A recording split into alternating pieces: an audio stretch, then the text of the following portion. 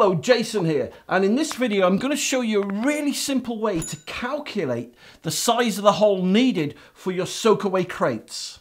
So, the first thing we need to work out is how many litres is going to be discharged into the cavity that the soakaway crates will make over a 24 hour period. So, for this example, let's say that the total amount of liquid that's going to be discharged into the soakaway hole is a thousand litres. Okay, so that's number one. Number two, you now have to work out the contingency. What's the contingency? Well, basically, you have to account for rainfall and global warming. So it's a very simple calculation, right? Contingency is basically half the amount of litres that's going to be discharged into the cavity over a 24 hour period. So in this case, the contingency right, would be 500 litres. So if I put contingency there, contingency. So there you go. Those are basically the two figures that you have to deal with. All right, so now we just add the two up. So a thousand litres plus 500 litres gives us the total of, the grand total of 1500 litres. So that is the figure that building control will be looking for if you submit your plans to building control. So what we do now is we convert the 1500 litres that's been produced every 24 hours into cubic meters. All right, so 1500 litres is basically the same as 1.5 cubic meters.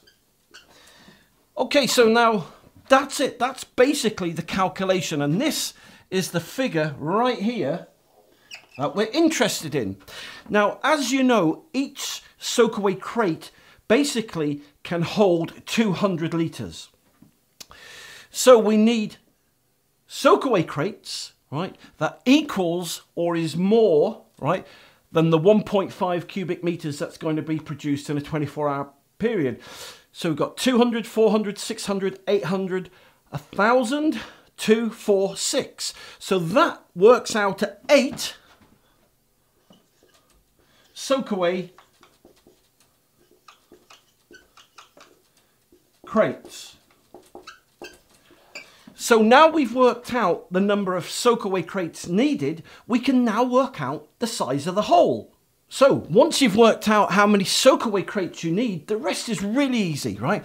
So we need eight crates and let's say we're just gonna put them in a single layer.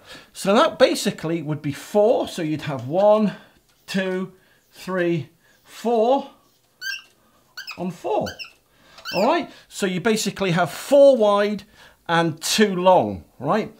So, working out that out, the size of the hole, each of these crates is half a meter, right, in, in width. So that would be two meters, two meters wide.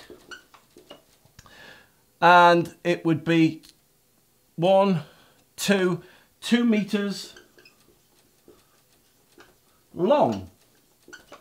So there you go. And the depth of the hole, well, the crates, as you know, are 400 meters deep. So the depth would be 400 mil. And then obviously you'd obviously, um, you know, take into consideration soil on top of that. So let's say you put 100 mil of soil because these soakaway crates, they can withstand, what, up to six ton plus in weight. So basically that's a really easy calculation to work out the size of not only how many soakaway crates you need, but also the size of the hole that you're going to put the soakaway crates in.